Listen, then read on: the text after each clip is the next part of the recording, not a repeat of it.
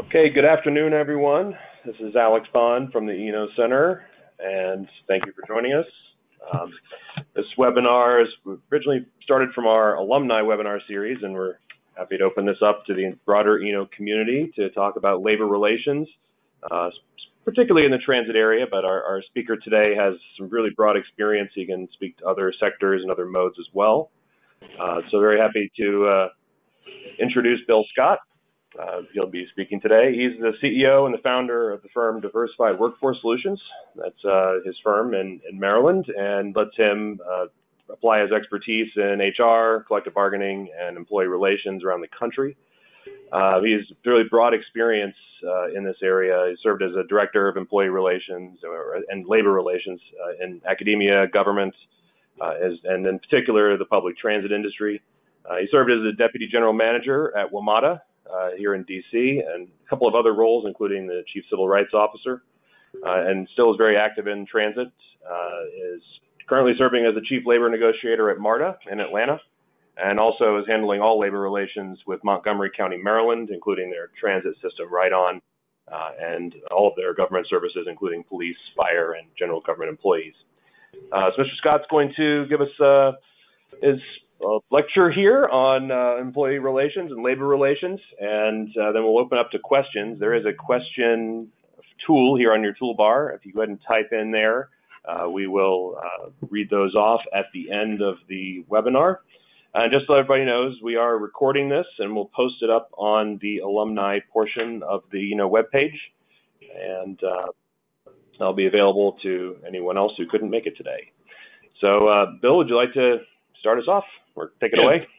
Thank you very much. Good afternoon, everyone. Uh, I'm here to just trying to share with you some of my experiences with relate with with respect to labor management relations and an overview of how I've seen things over the years and share some of the experiences with you. And then after that period of time, entertain your questions that you may have. So I'd like to move on first of all, and we'll entertain questions at the end. Uh, just to provide the overview, many of you are very seasoned, experienced executives and you've had some experience with labor relations. Some of them uh, may you may have had a lot of experience with labor relations, but for those who haven't, you know, just to give a, a understanding, the transit industry is one of the few industries that's heavily unionized, and still today it's a public sector union, and so therefore there are some basically key principles that is very important uh, in dealing with labor unions inside the transit industry. And I found these three keys to be very important to keep in mind. First of all, as executives and managers and supervisors of the bargaining unit, uh, it's important to understand your labor climate. That's number one. What climate am I in? Uh, do I have uh, some key indicators? Are do I have a high number of grievances? Turnover rate high? Absenteeism high? What's the morale like? And so, understanding your labor climate helps you to lay out a labor plan for your future in dealing with the labor unions. Second point I think is very important and key indicators, and, and that is ensuring that supervisors and managers have an understanding and knowledge of the collective bargaining agreement. And my experience has been over the years that we promote people into supervisory positions, but they don't have the background on the collective bargaining agreement, and they're dealing with bargaining unit employees. And that's the Bible between the two parties. That's the contract. So if you don't understand the contract, you will be somewhat intimidated when one party understands it and the other one doesn't and that's what happens with respect to the union having trained their shop stewards on the contract, and we as managers, and I'm including myself, that we don't always train our supervisors and managers on the collective bargaining contract. So that's very important to ensure that those things take place. And then the third point, the third key, I think, is understanding the importance of the collective bargaining process. I've been involved as a chief negotiator for in collective bargaining for about 35 years.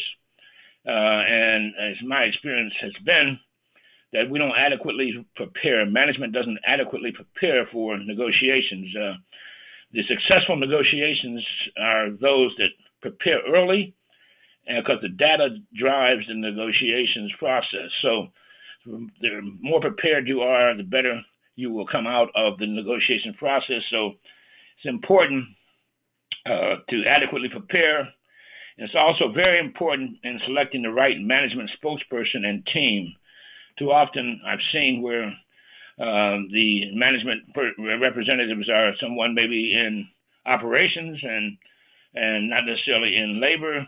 And as a consequence, because they know operations, uh, when the operations issues are satisfied, many of the other issues related related to collective bargaining are not addressed.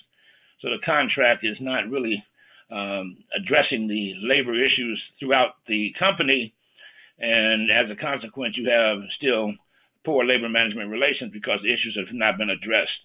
So it's important picking the right spokesperson and team, and it should be viewed as important to the process of running your organization as it is to the budget process because in most cases, uh, 60 to 70 percent of your budget is tied to labor costs.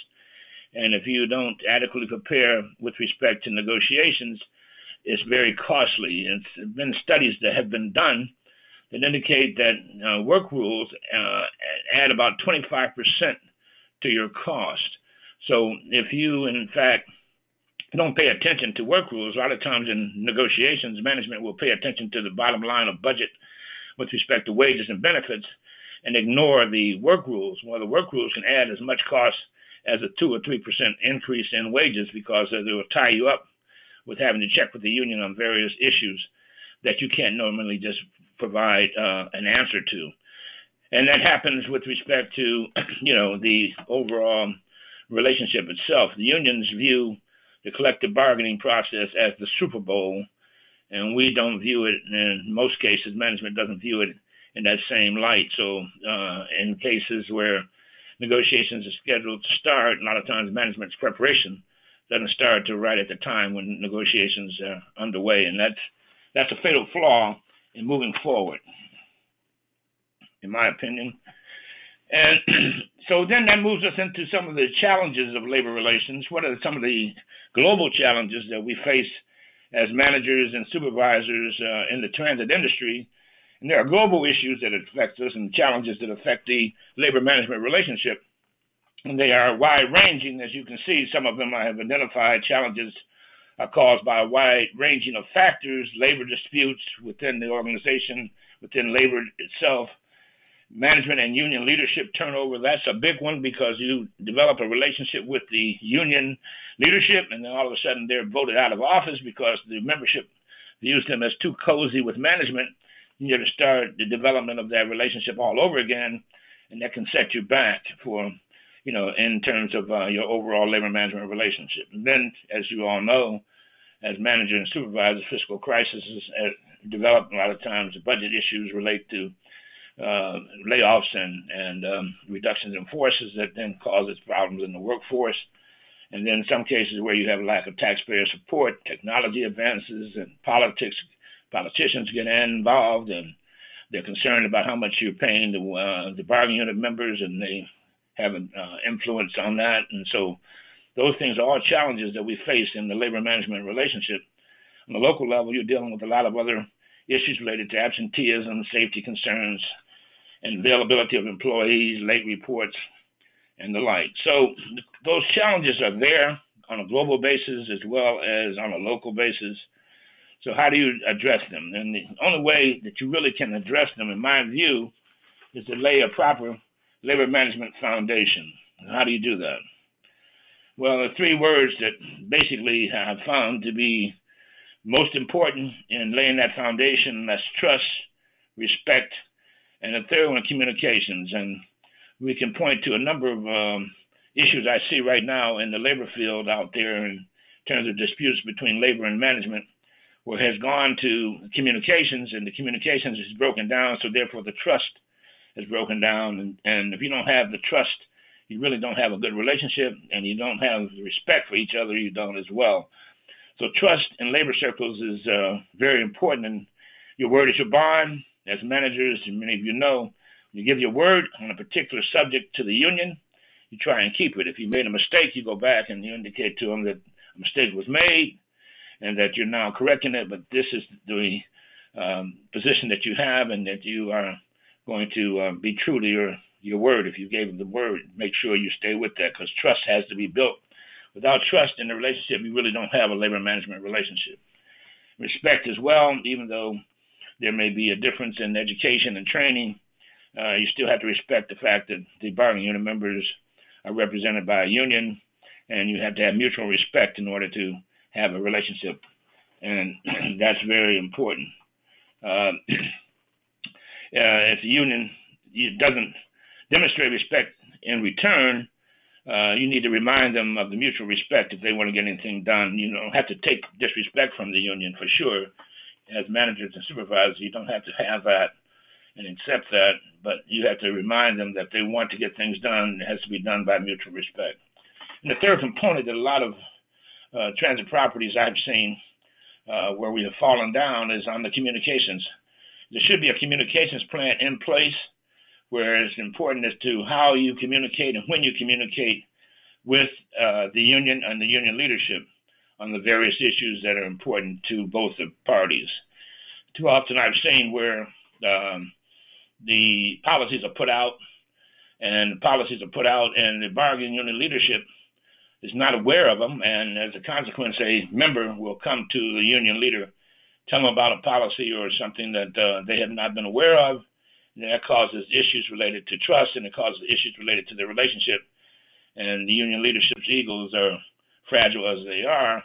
They get upset, and then you gotta, you know, you have more issues related to uh, your overall labor management relationship. So it's important to have a communications plan as part of your labor management relations. Uh, how and when you communicate with them on various issues should be laid out somewhere and take a few moments to lay it out as to how you will be communicating with the with the uh, union on on the various issues affecting the bargaining unit. So trust, respect, and communications are, I think, the three keys to a good labor management relationship. And I would suggest that you know the parties have that in place. And then these are just follow-up items, which deals with again understanding of the collective bargaining process your CBA is the foundation of your relationship with the union. It identifies the rights and responsibilities of both parties. And one of the things that's also a concern is the frequency of management turnover. You know, we promote people and we move them on very quickly. And many of the managers are not as familiar with the CBA as the shop stewards, and that puts them at a disadvantage. So you want them to be on equal footing, and the only way they can do that is to be as knowledgeable as the union uh, on the contract. And I know that that with everything else that you have to do, it's difficult because of the service you have to put out on the street and managing the workforce itself. But it behooves you to put some time into having that uh, as a uh, indicator in your training that uh, after each bargaining cycle that there's training to be done on the new uh, contract. I can say to you that you can always tell uh, in the collective bargaining process the management rights by the thickness of the labor agreement. If I walk into a facility and I see a very thick labor agreement, I know that they have negotiated away a lot of management rights. Because prior to negotiating them away, you have all the rights in the world until you do negotiate them away. And so every contract, the union may ask for two or three percent, but they're chipping away at those management rights that you have and at each time the contract grows thicker and thicker, and if you're not focused on that, you will end up with a very thick contract where you can't even go to the restroom without checking with the union. So it's important to uh, manage that process. Ensure that your supervisors and managers are properly trained uh, in, in the, on the issues that related to the CBA. And as I said in the last part of that, not knowing is very costly. Some of the dues I would suggest these over the years ensure, again, I'm just going back to the importance of the CBA training, knowledge of your rights under the CBA. I've gone in to conduct training, management training, management rights training, and many of the managers didn't know they had the rights that they have under the collective bargaining agreement, the right to direct the workforce and all the areas that go under that particular right. Um, many of them did not, uh, were not aware that they have those rights, and so they're promoted to supervisory positions. They know what they have to do in terms of supervising the employees, but they don't know what rights they have in terms of the collective bargaining process. Labor management committees are important uh, on issues that, um, before they blow up into major problems at your transit industry, I found them to be very useful. I have a cautionary note on the don'ts, and I'll talk to you in a moment about that. But they're very, they're very um, uh, instrumental in areas related to skill training, testing, apprenticeships, preventable accidents, workplace security. You have those joint committees; they can really help you in those areas. There's a cautionary note that I would talk to you about, but I found labor management committees are important, provided they meet on a regular basis as to the schedule that you keep for them. So what happens? We I've seen a lot of contracts that have labor management committees and they don't meet. Well, that's a problem because the union, when you get to negotiations and you want to make a change, the union say, well, you know, we, we had labor management committees, but you guys never brought the issue up or you never uh, had any meetings. So, you know, they're going to be against the ideas that you raise at the bargaining table.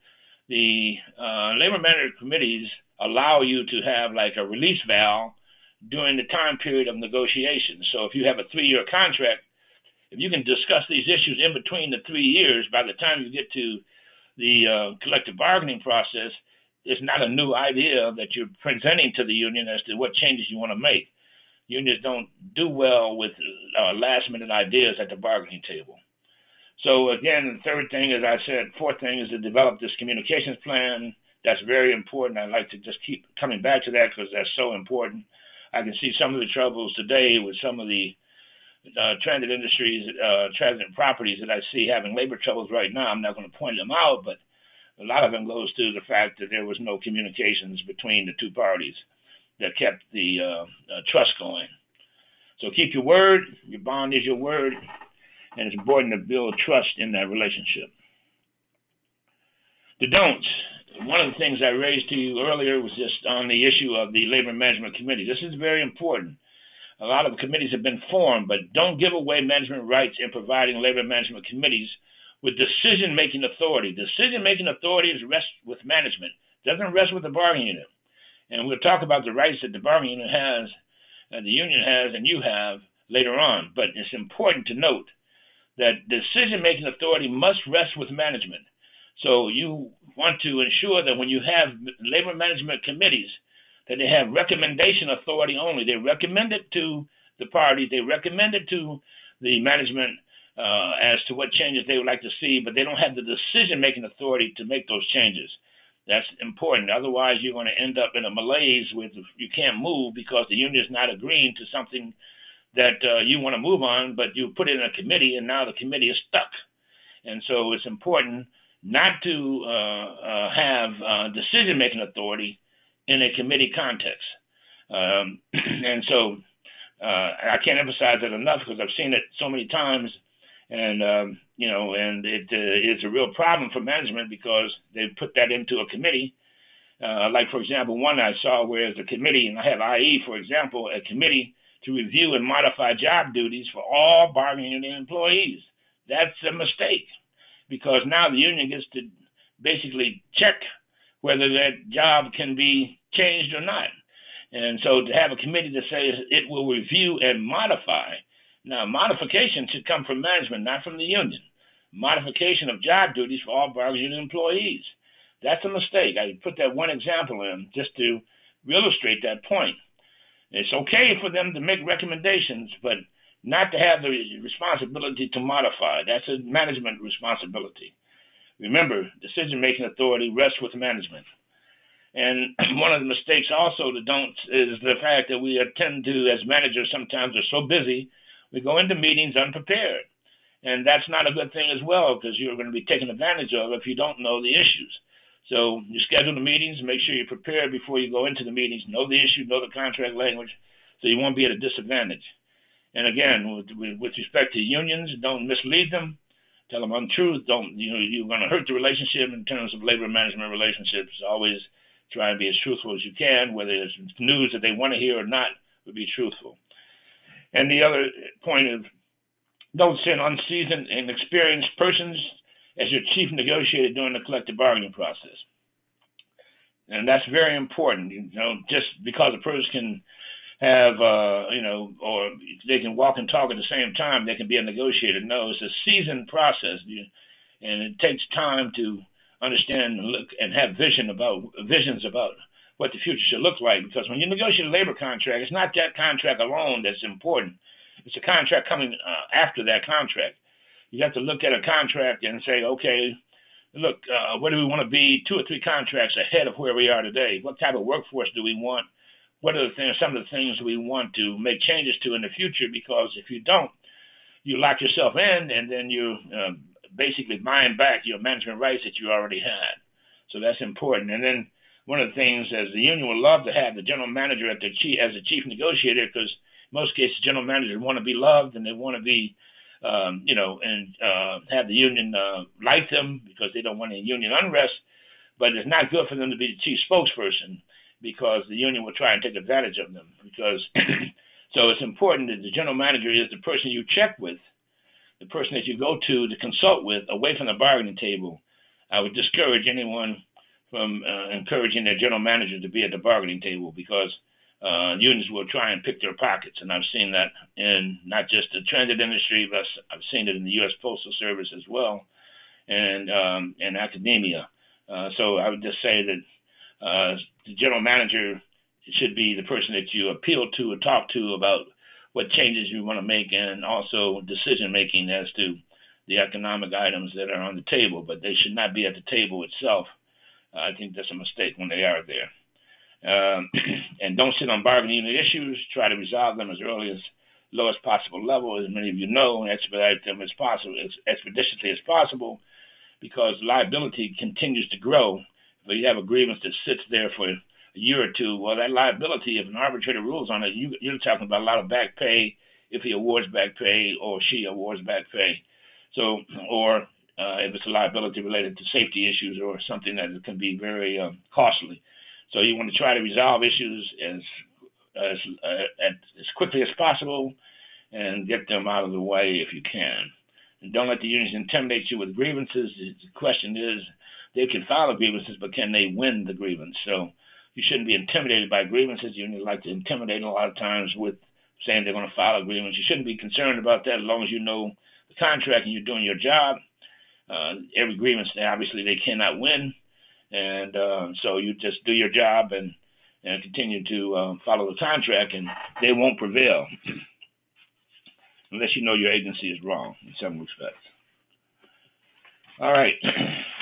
And so when we move on to what things you might face, you have choices here as managers who have faced or have faced choices in dealing with the unions at your agency.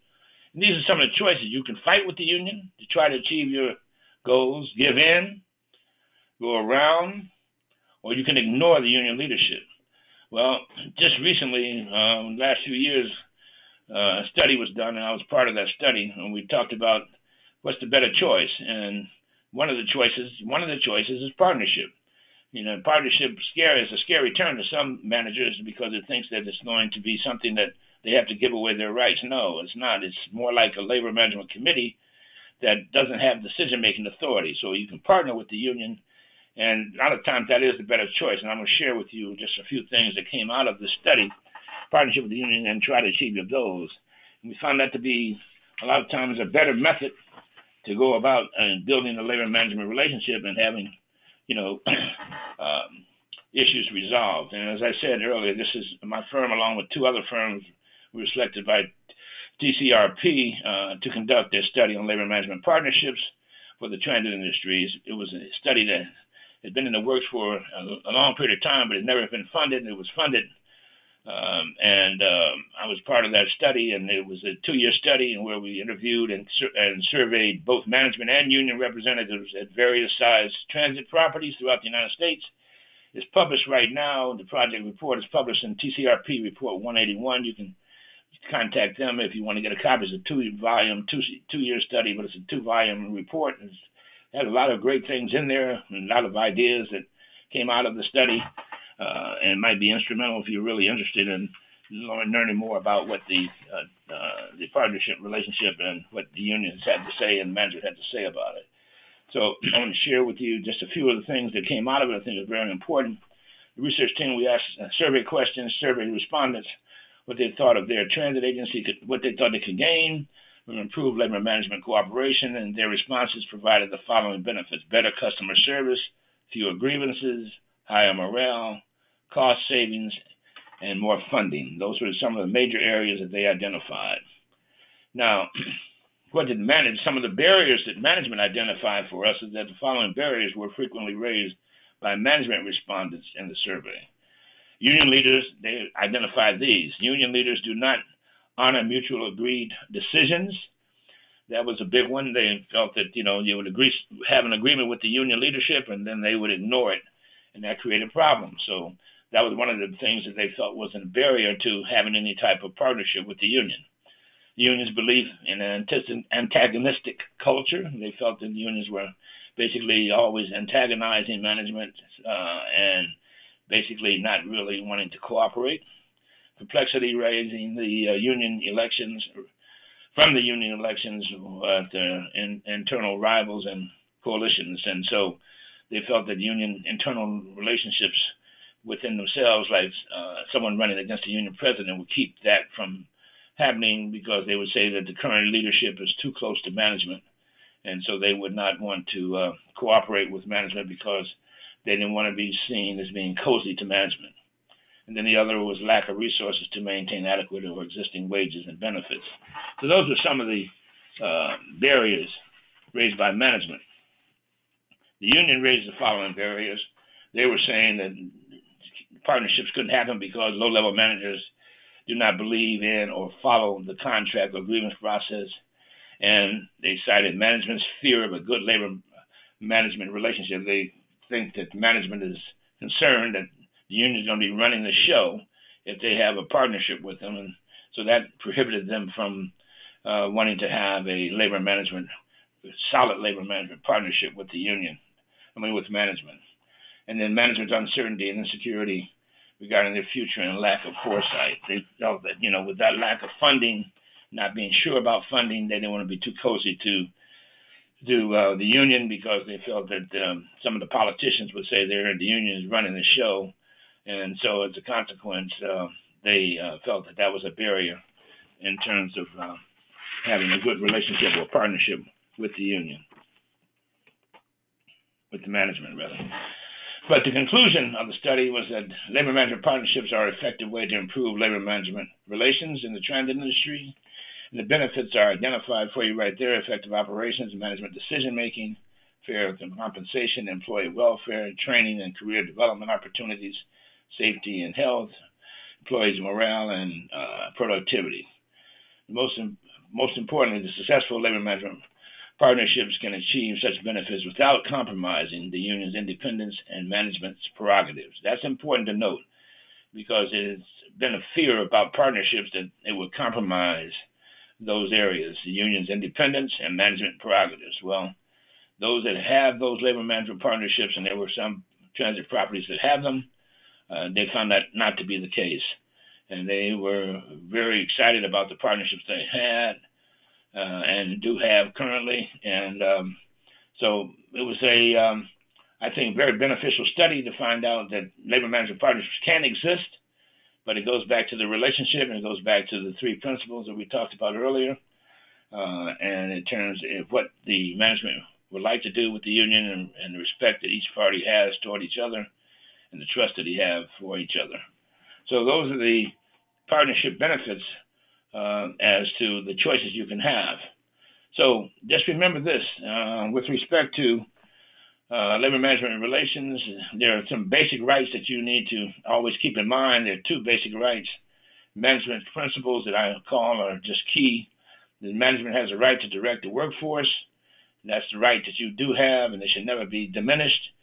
And that's why I said, with respect to labor management partnerships or labor management committees, you keep the decision making authority with management because you have the right to direct the workforce. But the union has the right the basic right to represent their bargaining unit members. So, in terms of providing surveys out to the bargaining unit, you should have to go to the union, tell them you're going to survey their members because they are their representatives. And so I've seen a number of cases where managers put a lot of surveys out, they didn't go through the union leadership, and it led to a lot of grievances. So it's important to know your rights under the collective bargaining agreement and the right to direct the workforce and know the union's right and the union's basic right is not to direct the workforce, it's only to represent. And so if you keep those two things in mind and the principles of, of a good labor management relationship and the choices you can have with respect to that, I think you'll do fine. And um, so I, there's a lot of other issues that could be addressed, but those are the basics in terms of having a good labor management relationship from my years of experience and from the various uh, places I have represented and the um, issues I've run across. So if you have any questions, um, you're going to be entertained now. And uh, if you need any assistance, uh, my number's there. I'm always willing to. We're a management consulting firm, so you know if you need any assistance, we're there for you as well. Thank I. Appreciate it, Bill. That was very good. Some good stuff and a little bit of a national picture as well. Uh, the question uh, box is open, so if you have any uh, questions, please, or comments, please type them in and we'll uh, relay them.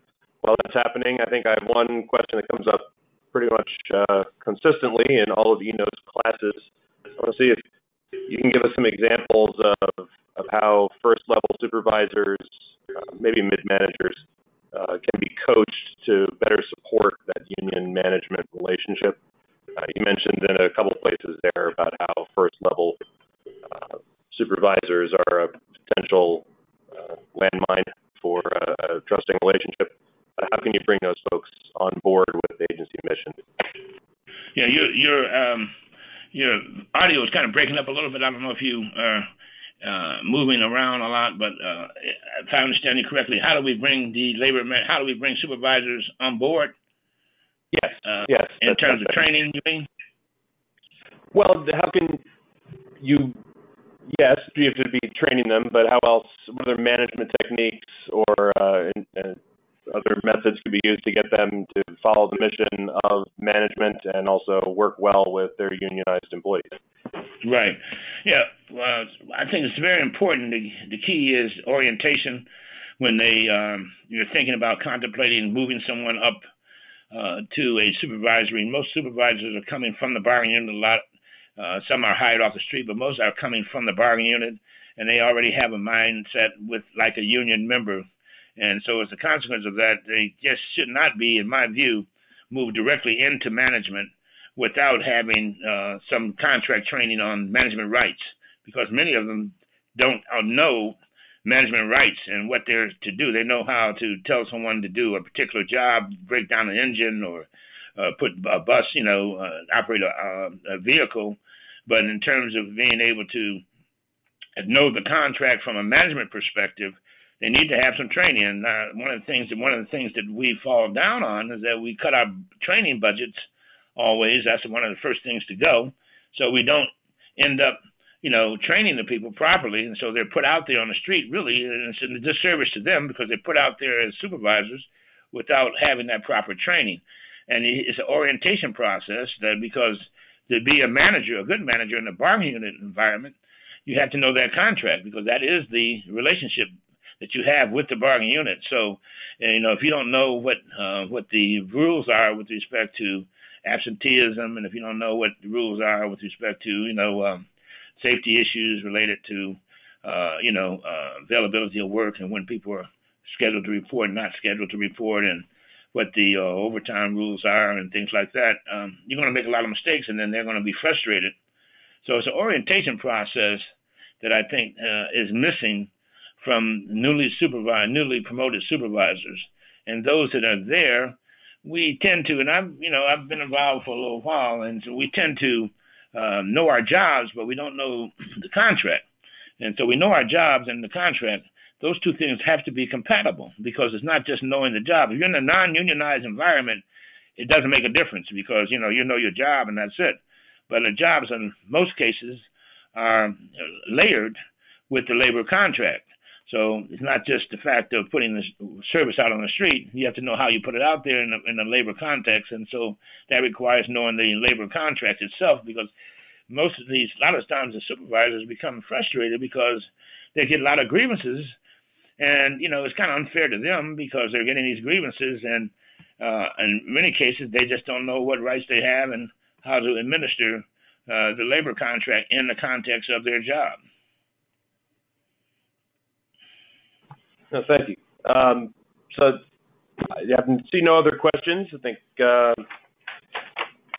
we can probably end the webinar here. I want to thank you, Bill, for taking the time to uh, give us this overview of, good labor relations. Uh, thank everybody for attending. Uh, just a couple of housekeeping items. This will get posted out on the Eno alumni page, um, and feel free to forward this over to colleagues uh, that would like to view it.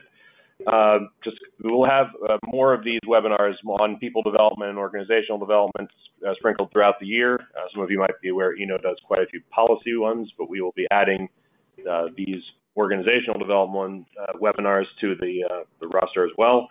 the next alumni activity we have September 12th, our virtual reading roundtable, our book club. we'll be on the lookout for emails about that. And thanks everybody for being here. Have a good afternoon. Thank you.